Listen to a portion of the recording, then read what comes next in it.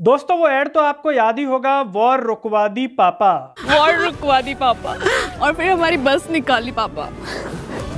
BJP के द्वारा बनाया गया ये ऐड इस लड़की के लिए इतनी बड़ी मुसीबत बनेगा इसने सोचा भी नहीं होगा।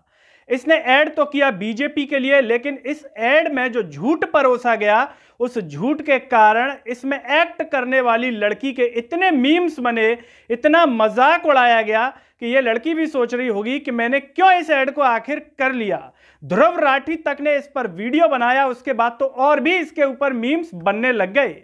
लेकिन अब इस एड की मुसीबत और बढ़ गई है। वो बढ़नी ही थी वो इसलिए क्योंकि इसमें खुले आम झूठ परोसा गया। और ऐसा झूठ परोसा गया जिसका खंडन खुद सरकार के विदेश मंत्रालय ने कर दिया कि ऐसा कुछ भी नहीं हुआ।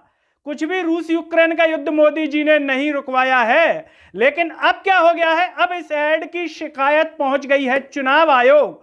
और परीक्षा है अब राजीव कुमार जी की भी। क्या वो एक्शन लेंगे?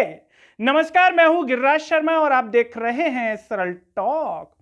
दोस्तों, एक एड खूब प्रचारित होता है सोशल मीडिया पर। वॉर रुकवा दी पापा।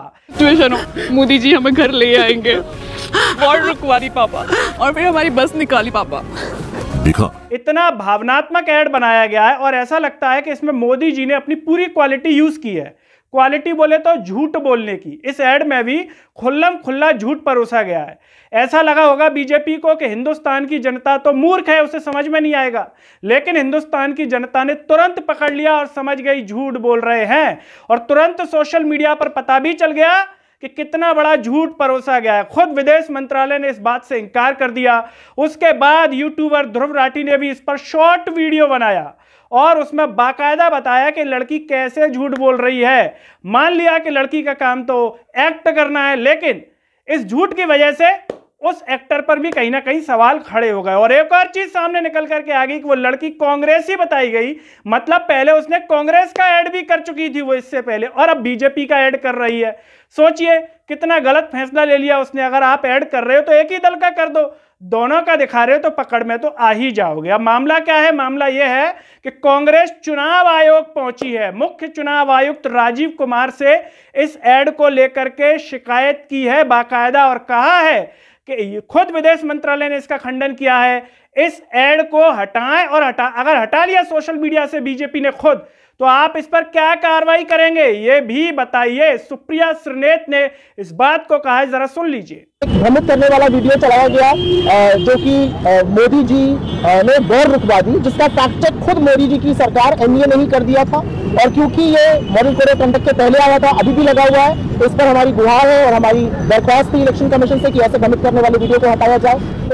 आपने सुप्रिया जी को सुन लिया। अब आपको क्या लगता है कि राजीव कुमार जी बीजेपी के ऊपर एक्शन लेंगे? इस एड को हटवाएँगे? या प्रधानमंत्री नरेंद्र मोदी की बीजेपी की जितनी भी शिकायतें आ रही हैं, क्या निष्पक्षता के साथ राजीव कुमार जी में इतना दम है कि वो एक्शन लेंगे?